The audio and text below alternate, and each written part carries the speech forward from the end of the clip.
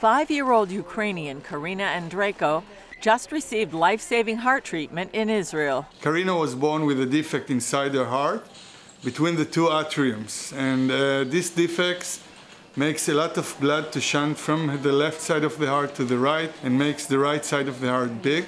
Her mom, Irina Andreiko, sought help from Israel's field hospital just three miles from their home near the Polish border. There, doctors diagnosed Karina with a congenital defect treatable with a procedure available in Israel, but not in Ukraine. That's when Save a Child's Heart stepped in.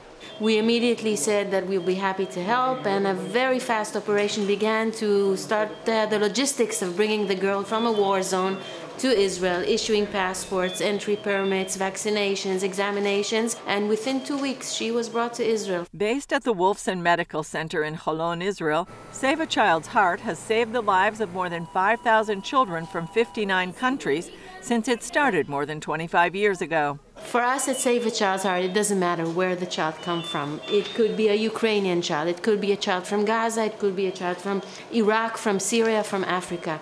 We are here to help them and to save their lives. According to Tamar Shapira from Save a Child's Heart, Karina has a twin back in Ukraine and the family lives in an area heavily damaged by the war. Mother's not working, the girls are not going to kindergarten, the father was recruited to fight with the forces of Ukraine, and her condition is very bad.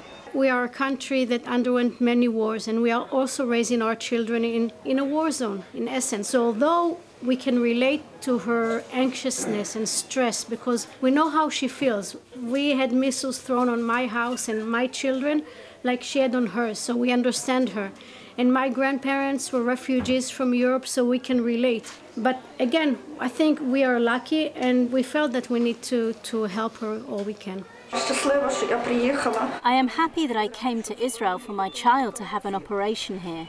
On the one hand, I'm very worried about her, but I think everything will be fine. Doctors say Karina's prognosis is good, and she should have a completely normal life. Julie Stahl, CBN News, Jerusalem.